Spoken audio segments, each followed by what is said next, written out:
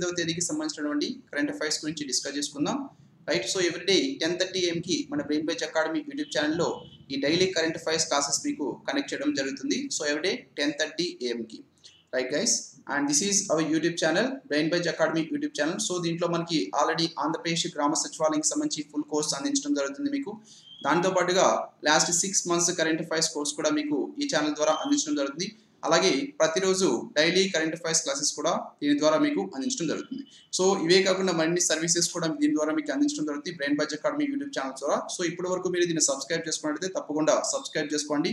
And subscribe చేసుకున్నాక పక్కనే మీకు ఇలా బెల్ ఐకాన్ వస్తుంది. సో ఈ బెల్ ఐకాన్ మీద కనుక మీరు క్లిక్ చేసినట్లయితే దీనికి సంబంధించిన నోటిఫికేషన్స్ మొత్తం కూడా మీరు అప్ టు టైం పొందడం జరుగుతుంది. Right? So are you hearing me guys? Ya okay ఈరోజు టుడే మనకి కరెంట్ అఫైర్స్ చాలా తక్కువ ఉన్నాయి. సో మనం చాలా షార్ట్గా ఇక్కడ డిస్కస్ చేసుకోవడం జరుగుతుంది. సో మొదటిగా వచ్చేసి business and economy related current affairs కనుక మనం చూసినట్లయితే military veterans military veterans employment ప్రోగ్రామ్ని ప్రారంభించిన Amazon India right so Amazon అనేది మన ప్రపంచంలోని ప్రముఖ ఈ కామర్స్ సంస్థగా దీన్ని చెప్పుకోవడం జరుగుతుంది. అమెరికా దేశానికి చెందినటువంటిది. సో ఇది ఈ అమెజాన్ ఇండియా ఏదైతే ఉందో ఇది మిలిటరీ వెటరన్స్ ఎంప్లాయ్మెంట్ ప్రోగ్రామ్ అనేటువంటి ఒక దాన్ని ప్రారంభించడం జరిగింది. మిలిటరీ వెటరన్స్ ఎంప్లాయ్మెంట్ ప్రోగ్రామ్ అంటే ఈ మిలిటరీ వారు ఎవరైతే ఉంటారో మిలిటరీ వారు వాళ్ళ యొక్క ఫ్యామిలీ మెంబర్స్కి దీని ద్వారా ఉద్యోగాలు ఇవ్వడం జరుగుతుంది. ఎంప్లాయ్మెంట్ అనేది వీరికి అందించడం జరుగుతుంది. సో దీనికోసంగా అమెజాన్ ఇండియా ఇటీవల వచ్చేసి మెయిన్గా office of the director general of రీసెటిల్మెంట్తో అలాగే ది ఆర్మీ వెల్ఫేర్ ప్లేస్మెంట్ ఆర్గనైజేషన్తో రెండింటితో కూడా పార్ట్నర్షిప్ కుదుర్చుకోవడం జరిగింది. రైట్ సో ఈ పార్ట్నర్షిప్లో భాగంగా మన భారతదేశంలో ఉన్నటువంటి మిలిటరీ ఫ్యామిలీస్ ఏవైతే మిలిటరీ ఫ్యామిలీస్ అక్రాస్ ఇండియాలో ఇక్కడ అమెజాన్ ఇండియా ద్వారా వీరికి ఉద్యోగాలు అనేది ఇవ్వడం జరుగుతుంది. Military veterans employment program so దీన్ని వచ్చేసి ఇటీవల ఈ అమెజాన్ ఇండియా ప్రారంభించడం జరిగింది. అండ్ అమెజాన్ యొక్క స్థాపకుడు అమెజాన్ యొక్క ప్రస్తుత సిఇఓ వచ్చేసి జెఫ్ బెజోస్. అమెరికా దేశానికి చెందినటువంటి ప్రముఖ ఈ కామర్స్ సంస్థ అమెజాన్. నెక్స్ట్ బెంగళూరులో జరిగిన Internet of Things India Congress two thousand nineteen. So ఇక్కడ మన భారతదేశంలోని కర్ణాటక రాష్ట్రంలోని బెంగళూరులో రెండు వేల పంతొమ్మిది సంవత్సరానికి గాను ఇంటర్నెట్ ఆఫ్ థింగ్స్ ఇండియా కాంగ్రెస్ని నిర్వహించడం జరిగింది. అండ్ ఇది వచ్చేసి నాలుగవ ఎడిషన్ నాలుగవ edition Internet of Things India Congress రెండు వేల పంతొమ్మిది ఎక్కడ నిర్మించాలంటే కర్ణాటక రాష్ట్రంలోని బెంగళూరులో నిర్వహించారు. సో ఇక్కడ మనం చూసినట్లయితే Internet of Things right so అంటే వేరు వేరు అంటే అగ్రికల్చర్ కానీ వీటన్నిటికి సంబంధించి వేరు వేరు వాటికి సంబంధించి ఇంటర్నెట్ కనెక్షన్స్ ఏ విధంగా ఉంటాయి? సో వాటివి ఒకదానికి ఒకదానికి మధ్య ఇంటర్నెట్ కనెక్షన్స్ అనమాట సో దీనికి సంబంధించి ఈ సదస్సుని సో దీన్ని రెండు వేల పంతొమ్మిది సంవత్సరంలో నిర్వహించినటువంటి Internet of Things India Congress ఏదో ఇది నాలుగవ ఎడిషన్ అండి. అండ్ ఈ నాలుగవ ఎడిషన్ రెండు వేల పంతొమ్మిది సంవత్సరంలో ఇంటర్నెట్ ఆఫ్ థింగ్స్ ఇండియా కాంగ్రెస్ని ఎక్కడ నిర్వహించారంటే కర్ణాటక రాష్ట్రంలోని బెంగళూరులో దీన్ని నిర్వహించడం జరిగింది. So these are very very important and here మెయిన్గా ఈ రెండు వేల పంతొమ్మిది సంవత్సరానికి గాను కర్ణాటక రాష్ట్రంలోని బెంగళూరులో నిర్వహించినటువంటి నాలుగవ ఎడిషన్ ఇంటర్నెట్ ఆఫ్ థింగ్స్ యొక్క ఇతివృత్తం ఏంటంటే mainstreaming the internet of things right so mainstreaming the internet of things అనేది దీని యొక్క ఇతివృత్తం రైట్ సో దీంట్లో మన భారత ప్రభుత్వం ఎలక్ట్రానిక్స్ అండ్ ఇన్ఫర్మేషన్ టెక్నాలజీ మంత్రిత్వ శాఖ యొక్క ప్రస్తుత కార్యదర్శి అయినటువంటి శ్రీ అజయ్ ప్రకాష్ సాహ్ని దీన్ని ఈ కర్ణాటక రాష్ట్రంలోని బెంగళూరులో ప్రారంభించడం జరిగింది. దీన్ని ప్రారంభించింది శ్రీ అజయ్ ప్రకాష్ సాహ్ని. శ్రీ అజయ్ ప్రకాష్ సాహ్ని ఎవరంటే ప్రస్తుతం కేంద్ర ప్రభుత్వ ఎలక్ట్రానిక్స్ అండ్ ఇన్ఫర్మేషన్ టెక్నాలజీ మంత్రిత్వ శాఖ యొక్క కార్యదర్శి. సో ఇటీవల ఈ Internet of Things India Congress రెండు వేల పంతొమ్మిది దీంట్లో హెల్త్ కేర్కి సంబంధించి కానీ అలాగే మ్యానుఫ్యాక్చరింగ్కి సంబంధించి రైట్ సో ఉత్పత్తికి సంబంధించి టెలికాం కానీ అండ్ స్మార్ట్ సిటీస్ కానీ ఎనర్జీ ఎరిడైల్ కానీ అండ్ సైబర్ సెక్యూరిటీ వీటన్నిటికీ మధ్య. సో ఏ విధంగా వీటితో ఒకదానితో ఒకటి కనెక్షన్ అనేది ఏర్పాటు చేయడం జరుగుతుంది. ఇంటర్నెట్తో ఇంటర్నెట్తో కనెక్షన్ అనేది ఏర్పాటు చేయడం ఈ విధంగా ఈ విభాగంలో ట్రాక్లకు సంబంధించి ఈ అగ్రికల్చర్ కానీ అండ్ లే లీగల్ అండ్ రెగ్యులేటరీ కానీ సో వీటన్నిటి విభాగాల మీద ఈ ట్రాక్లు అనేది ఇక్కడ ఉంటాయి. సో వీటి మీద ఈ సదస్సుని నిర్వహించారు. సో ఇటీవల దీన్ని ఎక్కడ నిర్వహించారు అనేది మనకి ముఖ్యంగా ఇంపార్టెంట్ అండి. సో బెంగళూరులో దీన్ని నిర్వహించారు. అలాగే రెండు వేల పంతొమ్మిది సంవత్సరంలో నిర్వహించినటువంటి Internet of Things India Congress ఎన్నవ edition అంటే నాలుగవ ఎడిషన్ రైట్ సో ఇది నాలుగవ ఎడిషన్ సో ఇది మనకి మెయిన్గా ఇంపార్టెంట్ అండ్ కర్ణాటక రాష్ట్రం యొక్క ప్రస్తుత ముఖ్యమంత్రి బిఎస్ యడ్యూరప్ప అండ్ కర్ణాటక రాష్ట్రం యొక్క ప్రస్తుత గవర్నర్ వాజుబాయ్ వాలా కర్ణాటక రాష్ట్రం యొక్క రాజధాని Bengaluru. And science and technology related current affairs కనుక మనం ఇక్కడ చూసినట్లయితే ఇక్కడ this is very very important అండి. ఇంటెల్ వచ్చేసి తన యొక్క మొదటి ఆర్టిఫిషియల్ ఇంటెలిజెన్స్ చిప్ అయినటువంటి స్ప్రింగ్ హిల్ని ఇటీవల ప్రారంభించడం జరిగింది. రైట్ సో ఈ స్ప్రింగ్ హిల్ అనేది ఇంటెల్కి సంబంధించినటువంటి మొట్టమొదటి artificial intelligence chip right so Intel మనకు తెలుసు ఇది వచ్చేసి ప్రముఖ processor company and chip making company Intel అనేది. సో ఈ ఇంటెల్ తన యొక్క మొదటి ఆర్టిఫిషియల్ ఇంటెలిజెన్స్ చిప్ అనేటువంటి స్ప్రింగ్ హిల్ని ఇటీవల ప్రారంభించడం జరిగింది. అండ్ దీని పేరు మెయిన్గా మనం చూసినట్లయితే దీన్ని ఇటీవల ఈ చిప్ ఎక్కడ తయారు చేస్తారంటే ఇజ్రాయెల్ దేశంలోని హైఫాలో దీన్ని తయారు చేయడం జరిగింది. రైట్ సో దీన్ని ఎక్కడ అభివృద్ధి చేశారంటే ఇజ్రాయెల్ దేశంలోని హైఫాలో ఈ చిప్ని అభివృద్ధి చేయడం జరిగింది. అండ్ దీని యొక్క పేరు వచ్చేసి నెర్వానా ఎన్ఎన్పిఐ రైట్ సో ఈ విధంగా మనం చెప్తాం. నెర్వానా ఎన్ సో ఇది ఈ చిప్ యొక్క నేము లేదా దీన్ని స్ప్రింగ్ హిల్ అని కూడా పిలవడం జరుగుతుంది. స్ప్రింగ్ హిల్ అని కూడా పిలుస్తారు. నెర్వానా ఎన్ఎన్పిఐ అని లేదంటే స్ప్రింగ్ హిల్ అని కూడా ఈ చిప్ని పిలవడం జరుగుతుంది. ఇది ఈ ఇంటెల్ యొక్క మొట్టమొదటి ఆర్టిఫిషియల్ ఇంటెలిజెన్స్ ఉపయోగించి చేసినటువంటి చిప్ అండి. రైట్ సో ఇది మెయిన్గా వచ్చేసి పది నానోమీటర్ ఐస్ లేక్ ప్రాసెసర్ పైన ఇది ఆధారపడి ఉంటుంది. సో ఈ విధంగా ఇది తక్కువ ఎనర్జీని కూడా ఉపయోగించి పనిచేసేటువంటి చిప్గా తెలపడం జరిగింది. సో ఆర్టిఫిషియల్ ఇంటెలిజెన్స్ టెక్నాలజీస్ దీన్ని రూపొందించారు. సో ఇక్కడ మేము మెయిన్గా దీని మీద క్వశ్చన్ ఏ విధంగా అడుగుతారంటే ఇటీవల స్ప్రింగ్ హిల్ అనేటువంటి ఆర్టిఫిషియల్ ఇంటెలిజెన్స్ బేస్డ్ చిప్ని విడుదల చేసినటువంటి కంపెనీ ఏమిటి? సో ఇంటెల్ కంపెనీ దీన్ని విడుదల చేసింది. రైట్ సో లేదా ఇటీవల ఇంటెల్ విడుదల చేసినటువంటి స్ప్రింగ్ హిల్ అనేటువంటి చిప్ని ఏ టెక్నాలజీ ఉపయోగించి రూపొందించారు? ఏ టెక్నాలజీ ఉపయోగించి రూపొందించారు దీన్ని? ఆర్టిఫిషియల్ ఇంటెలిజెన్స్ టెక్నాలజీ ఉపయోగించి రూపొందించడం జరిగింది. లేదా ఇటీవల ఇంటెల్ కంపెనీ ఆర్టిఫిషియల్ టెక్నాలజీ ఉపయోగించి తయారు చేసినటువంటి చిప్ యొక్క పేరు ఏమిటి? రైట్ సో చిప్ యొక్క పేరు ఏమిటంటే నెర్వానా ఎన్ఎన్పి వన్ అని ఐ అని లేదంటే స్ప్రింగ్ హెల్ అని దీన్ని పిలుస్తారు.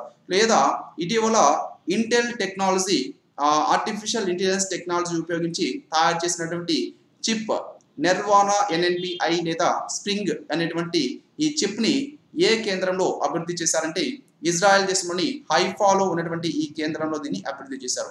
సో ఈ విధంగా ఇన్ని రకాలుగా దీని మీద మనల్ని క్వశ్చన్స్ అడిగేదానికి అవకాశం ఉంటుంది. అండ్ దీనికి సంబంధించి స్టాటిక్ మనం చూసినట్లయితే ఈ ఇంటెల్ కంపెనీ యొక్క సిఇఓ వచ్చేసి ప్రస్తుతం Robert H Swan. Robert H Swan ప్రస్తుతం ఈ ఇంటెల్ కంపెనీ యొక్క సిఇఓ అండ్ దీని యొక్క స్థాప దీన్ని ఎప్పుడు స్థాపించారంటే పంతొమ్మిది వందల అరవై ఎనిమిది జూలై పద్దెనిమిదిన ఈ ఇంటెల్ కంపెనీని స్థాపించడం జరిగింది. Right guys so very very important అని డెఫినెట్లీ మనకి సైన్స్ అండ్ టెక్నాలజీకి సంబంధించి. నెక్స్ట్ వచ్చేసి అవార్డులు మరియు రివార్డులకి సంబంధించినటువంటి current affairs right so Tenzing Norgay national adventure award రెండు వేల పద్దెనిమిదిని ప్రకటించడం జరిగింది. Tenzing Norgay national adventure award రెండు వేల పద్దెనిమిది.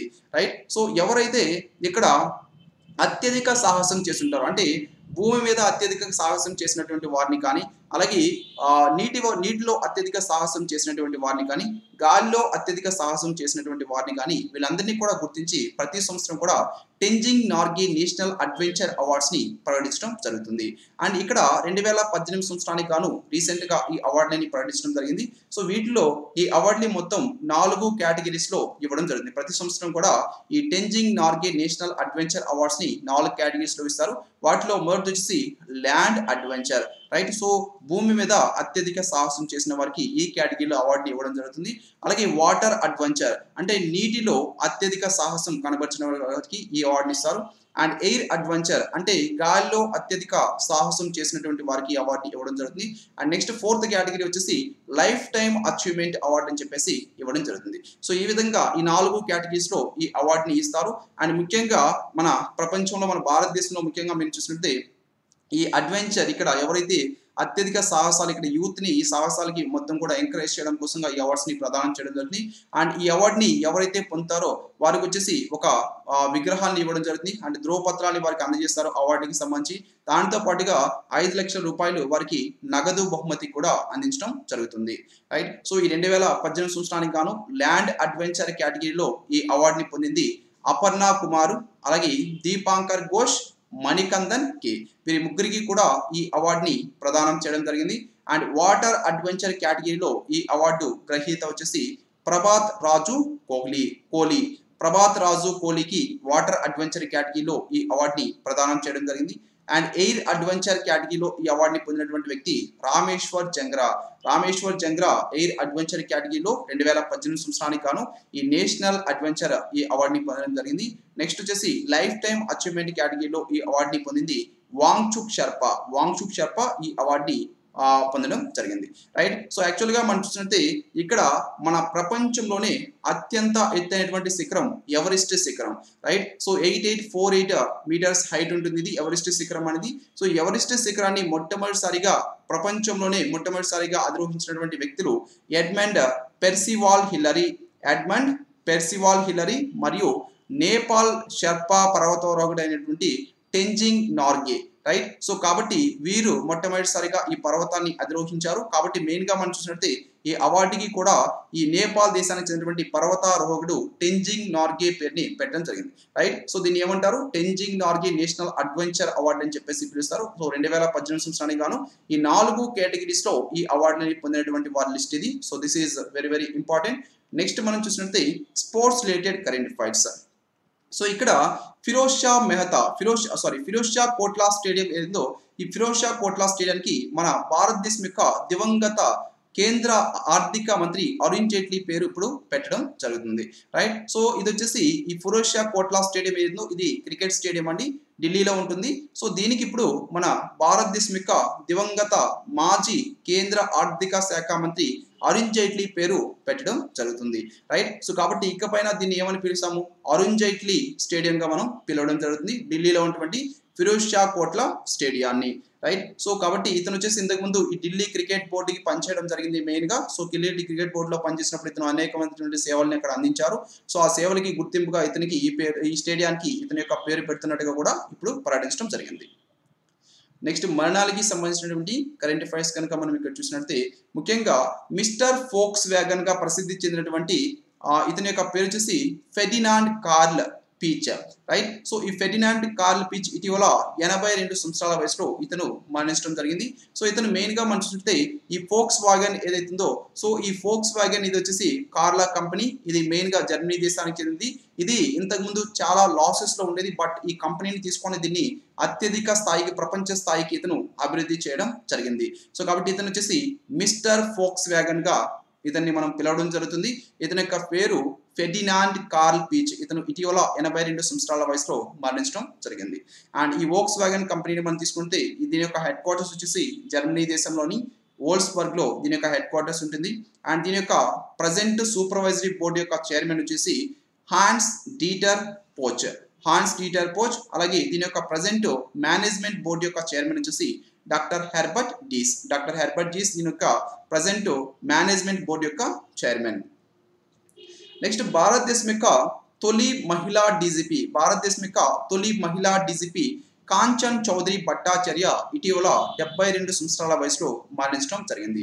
రైట్ సో ఈమె వెరీ వెరీ ఇంపార్టెంట్ మెయిన్గా మన భారతదేశం యొక్క తొలి మహిళా డీజీపీ తొలి మహిళా డీజీపీ ఎవరంటే కాంచన్ చౌదరి భట్టాచార్య. ఈమె మన భారతదేశం యొక్క తొలి మహిళా డీజీపీగా రెండు వేల నాలుగో సంవత్సరంలో ఉత్తరాఖండ్ రాష్ట్రానికి నియమితులవడం జరిగింది. రైట్? సో ఉత్తరాఖండ్ రాష్ట్రం యొక్క డీజీపీగా ఈ పనిచేశారు. ఈమె మన భారతదేశం యొక్క తొలి మహిళా డీజీపీ. అలాగే ఈమె మన భారతదేశంలోనే రెండవ మహిళా ఐపీఎస్ అధికారి కూడా. మన భారతదేశం యొక్క మొదటి మహిళా ఐపీఎస్ అధికారి ఎవరు? కిరణ్ బేడి.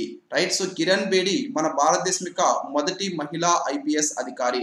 సో ఈమె తర్వాత ఈమె వచ్చేసి కాంచన్ చౌదరి భట్టాచార్య మన భారతదేశం యొక్క రెండవ మహిళా ఐపీఎస్ అధికారి. అలాగే మన భారతదేశం యొక్క తొలి మహిళా డీజీపీగా ఈమె పనిచేసి చరిత్ర సృష్టించడం జరిగింది. సో ఈమె ఇటీవల డెబ్బై రెండు సంవత్సరాల వయసులో మరణించారు.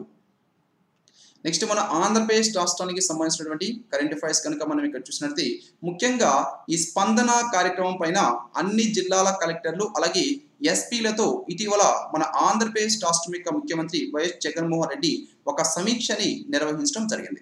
సో స్పందన కార్యక్రమం మీద. So what is this Spandana? So ఈ స్పందన కార్యక్రమం ఏంటంటే ముఖ్యంగా మన ఆంధ్రప్రదేశ్ రాష్ట్రంలో ప్రజా సమస్యలు ఏవైతున్నాయో ఆ ప్రజా సమస్యల్ని పరిష్కరించడం కోసంగా ఒక వేదికగా ఆంధ్రప్రదేశ్ రాష్ట్ర ప్రభుత్వం ఈ స్పందన కార్యక్రమాన్ని ప్రారంభించడం జరిగింది. సో ఈ స్పందన కార్యక్రమంలో ముఖ్యంగా ఏ సమస్య ఉన్నా సరే ప్రజలకి ఆ సమస్యల్ని ఈ ఆంధ్రప్రదేశ్ రాష్ట్ర ప్రభుత్వంలో ఏ శాఖకి సంబంధించినటువంటి అర్జీని ఇవ్వాలన్నా దానికి సంబంధించి అర్జీ సమస్య గురించి ఈ సంబంధిత శాఖకి ఈ స్పందన సెంటర్స్ నుంచి పంపించడం జరుగుతుంది.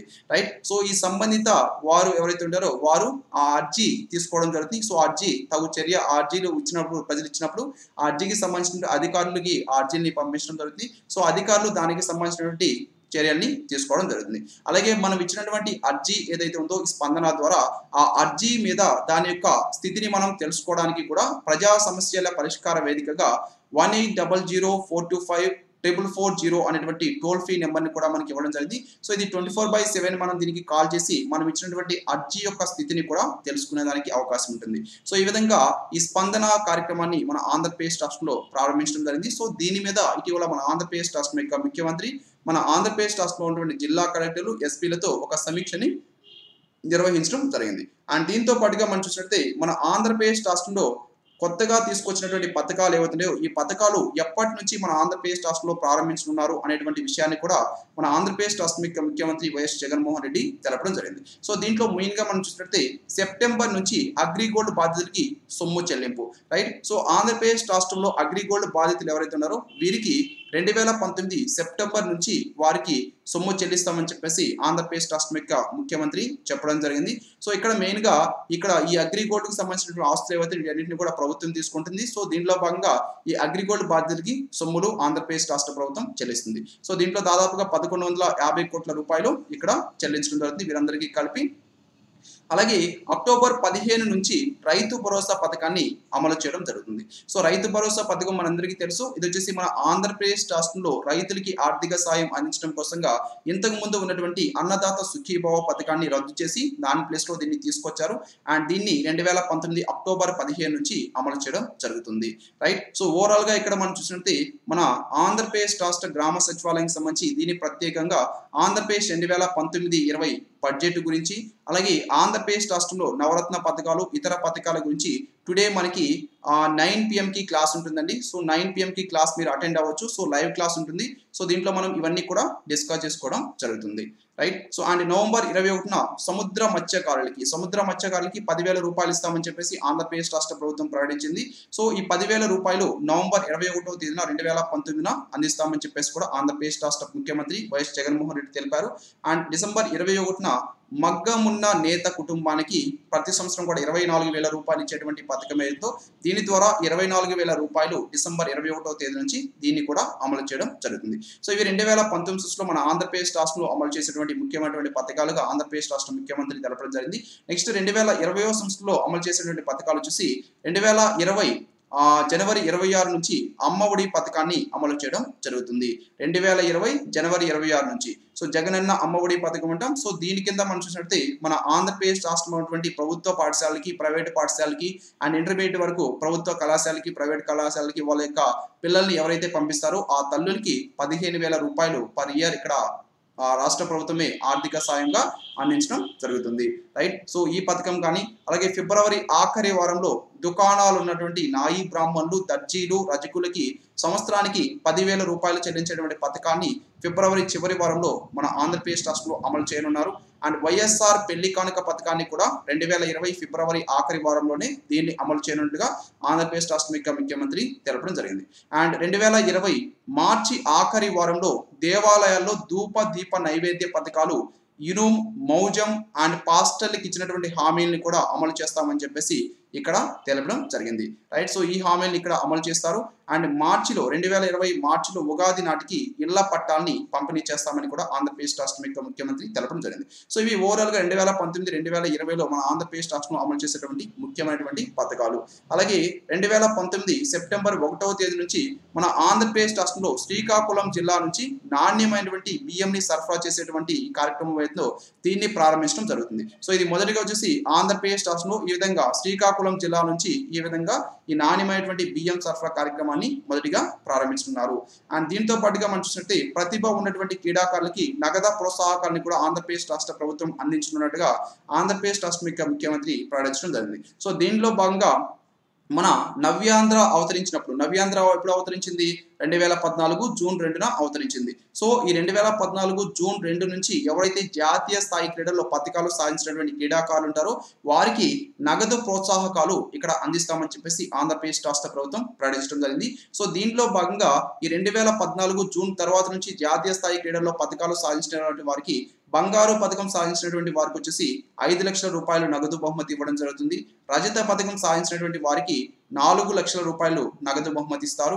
కాంక్ష పథకం సాధించినటువంటి వారికి మూడు లక్షల రూపాయలు నగదు బహుమతి ఇవ్వడం జరుగుతుంది.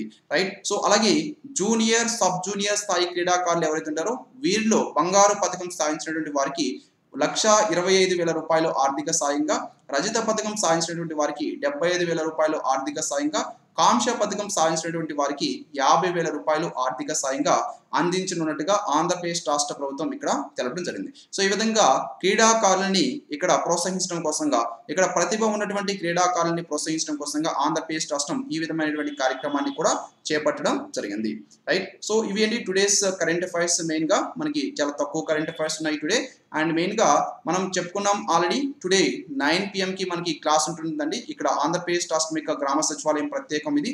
సో ఈ క్లాస్ మనకు ఉంటుంది. అండ్ టుమారో మనం ఆల్రెడీ చెప్పాం దీని మీద ఒక టెస్ట్ మనం కండక్ట్ చేయడం జరుగుతుంది గ్రామ సచివాలయం మీద. టోటల్ వన్ ఫిఫ్టీ క్వశ్చన్స్ తీసుకొని ఆంధ్రప్రదేశ్ ఈ దీనికి సంబంధించి పంచాయతీ సెక్రటరీ సంబంధించి ఈ లెవెల్లో మనం ఇక్కడ కండక్ట్ చేస్తాం. రైట్ సో మెయిన్గా దీంట్లో వచ్చేసి ఓవరాల్గా నూట యాభై చూసినట్టు నూట యాభై questions two and half hours మీకు ఇక్కడ లైవ్లో ఈ టెస్ట్ కండక్ట్ చేయడం జరుగుతుంది. సో లైవ్లో మీరు ఒక లైవ్ టెస్ట్ లాగా దీన్ని అటెండ్ అవ్వచ్చు. రైట్ సో పీడిఎఫ్ పెడతానండి so definitely two to three hours class అయిపోయినప్పుడు కంప్లీట్గా మీకు దీనికి వీడియో కింద డిస్క్రిప్షన్లోనే పీడిఎఫ్ ఇవ్వడం జరుగుతుంది. So you can download this right so today మనకి నైన్ పిఎం కి క్లాస్ ఉంటుంది. నైన్ పిఎం క్లాస్ రెండు వేల పంతొమ్మిది ఇరవై ఆంధ్రప్రదేశ్ రాష్ట్ర బడ్జెట్ అలాగే ముఖ్యంగా ఆంధ్రప్రదేశ్ రాష్ట్రం యొక్క పథకాల గురించి ఇక్కడ మనం డిస్కస్ చేసుకుంటాం. రైట్ సో ఇక్కడ ఎస్ మీకు ప్రతి క్లాస్ కూడా లైవ్ ఇవ్వడం జరుగుతుంది లైవ్ షెడ్యూల్ ముందుగానే ఇస్తున్నాం. సో ఆ లైవ్ షెడ్యూల్ ప్రకారంగా మీరు ఫాలో అవ్వచ్చు టుడే మనం ఆల్రెడీ చెప్పాం నైన్ పిఎం కి ఈ రోజు వచ్చేసి ఆంధ్రప్రదేశ్ రాష్ట్రం యొక్క బడ్జెట్ రెండు వేల పంతొమ్మిది ఇరవై బడ్జెట్ మీద అలాగే ముఖ్యంగా మనం చూసినట్టు ఆంధ్రప్రదేశ్ రాష్ట్రం యొక్క పథకాలు నవరత్నాలు వీటి మీద మనం క్లాస్ తీసుకోవడం జరుగుతుంది. Right guys so please attend thank you all of you